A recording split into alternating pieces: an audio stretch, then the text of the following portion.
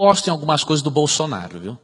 Você pode ficar bravo comigo, mas eu gosto. O cara, o cara fala a verdade, tá? Lorde, meu, não bate bem na cabeça alguns aspectos, mas é um camarada sério, viu?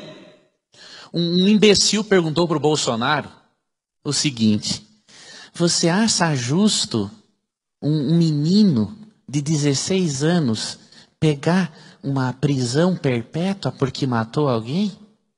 Aí o Bolsonaro falou assim: Eu acho justo, sabe por quê? Porque quem realmente está numa prisão perpétua foi aquele que ele matou. Aquele está numa prisão perpétua na sepultura nunca mais sai. Mas quebrou ele no meio. Então, irmãos, nós temos que pensar mais biblicamente sobre o assunto. E você tem que levar o seu aluno a pensar biblicamente. Eu não estou fazendo aqui campanha política, irmãos. Eu não sou, não voto em partido nenhum, não tenho nada.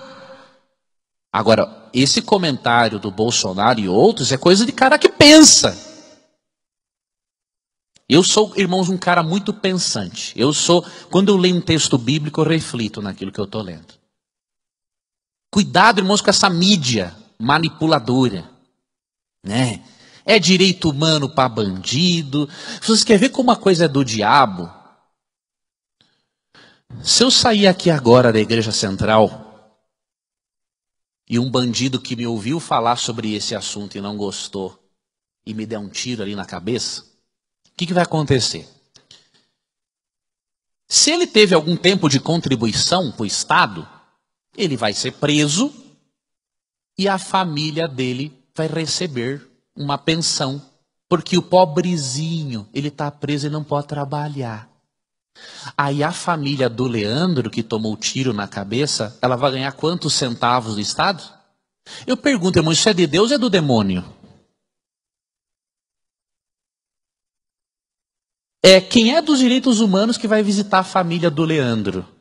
que tomou o tiro na cabeça e agora as crianças, a Yasmin e a Lavínia, não tem como se sustentar porque o papai delas foi morto. Agora o papaizinho que matou o bandido, ele vai ganhar uma pensão para a família. Gente, eu tô, eu tô falando, irmãos, muita asneira aqui, eu tô, eu tô, eu tô raciocinando com a vida. Irmãos, eu estou pensando, eu estou analisando a realidade do mundo à luz da palavra de Deus. Eu, eu não consigo ficar quieto numa situação dessas, irmãos.